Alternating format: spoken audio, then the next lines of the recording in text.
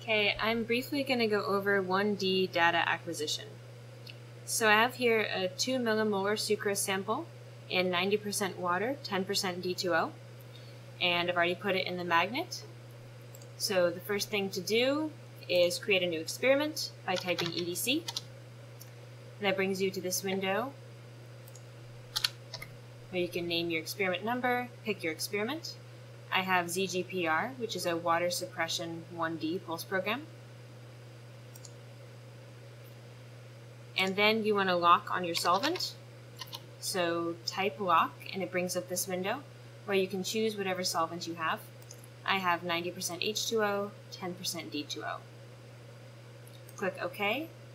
And if I open up the lock display window, you can see it trying to find the lock signal, trying to lock on D2O. And it'll take maybe a minute.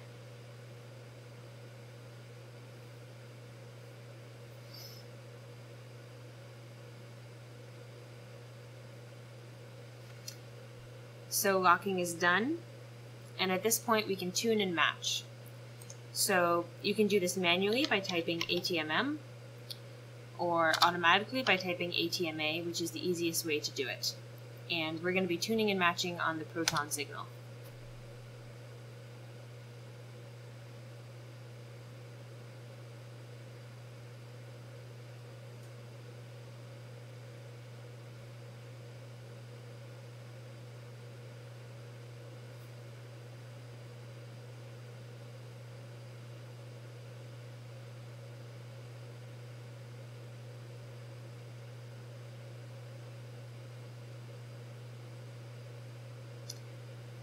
Okay, ATMA has finished.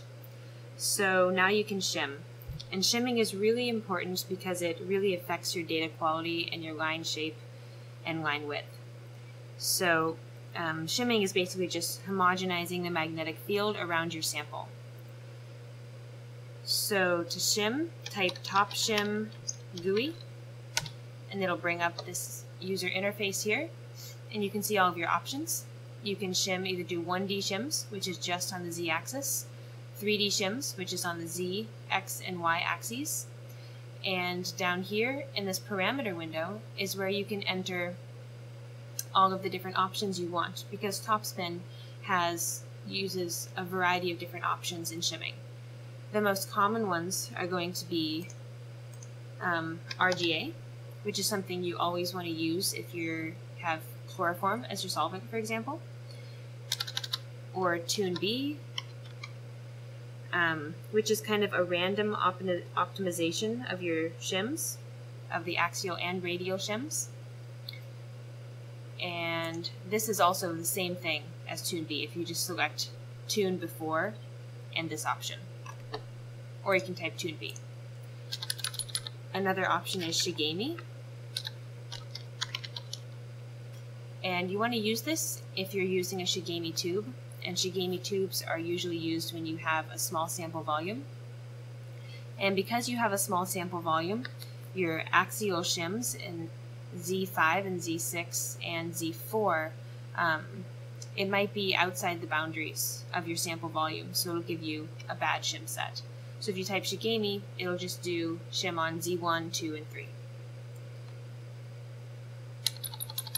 So we're just going to stick with RGA not because we need to, but why not? And first, if we do a 1D shim, just to see what it looks like, press start. And you can see it running.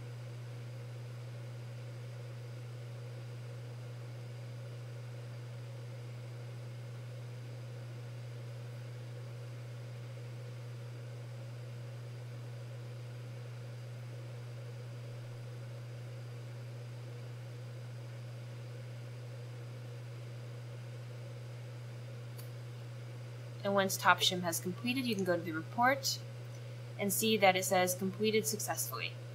That's great.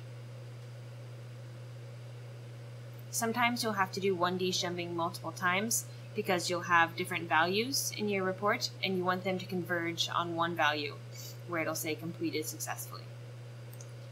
So for 3D shimming, this can take up to a half an hour, typically I think around 15 minutes. So 3D shimming, again, just press start and let it go. And then come back when it's done.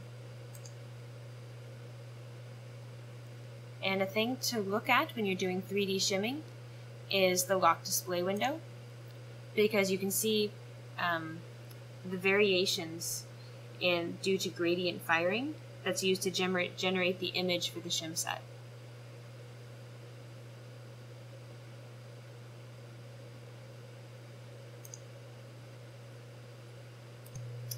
Okay, so TopShim 3D is done. So we can look at our report by typing TopShim report, which will bring up this. And you can look at all the shim values here. And they look pretty good. If they're in the thousands or tens of thousands, that would be considered a really big change, and you'd want to redo TopShim 3D. But as they're not, we can say this is a pretty good shim set and proceed. And also note that it completed successfully and how long it took, which was only 8 minutes. And like I said, it can take up to 30 minutes, 20 minutes if you're starting with really crummy shims.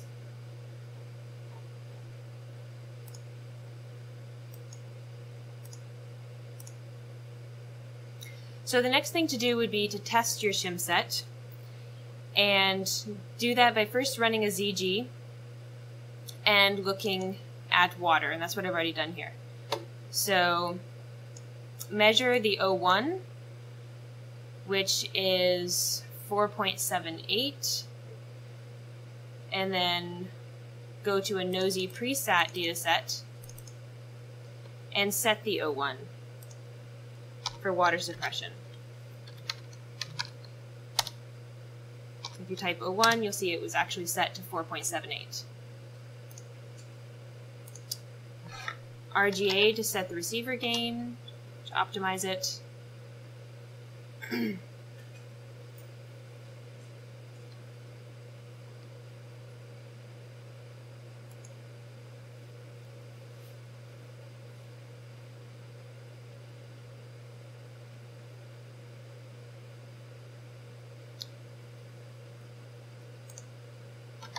ZG.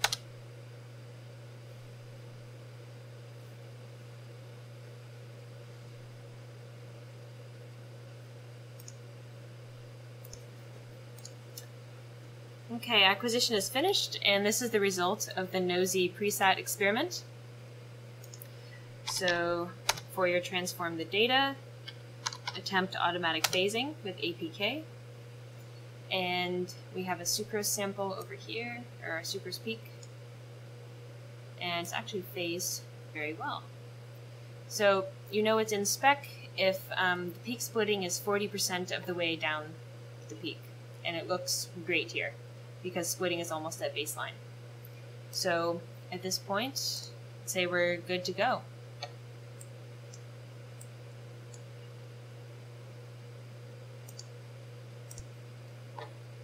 So the last thing we're going to do is rerun TopShim, um, the RGA option and Z6.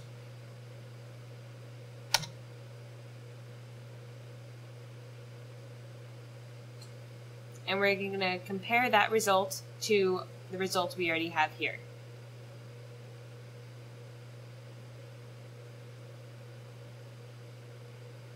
And it should be better.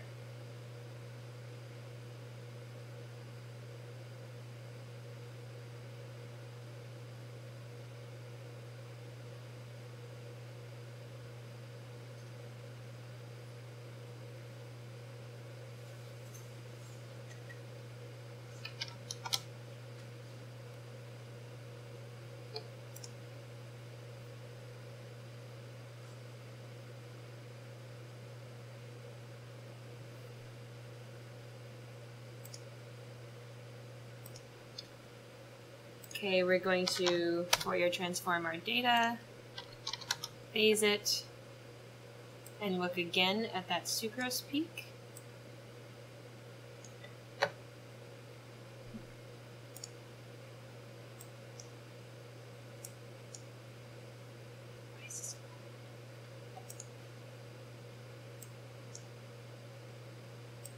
And it's tiny, so it's really hard to see. But I think it's safe to say um,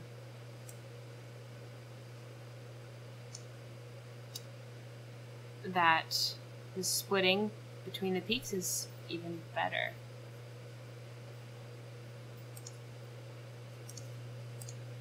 And if we look at our sucrose peak here, you see that it's definitely in spec, and so we are good to proceed with our experiment.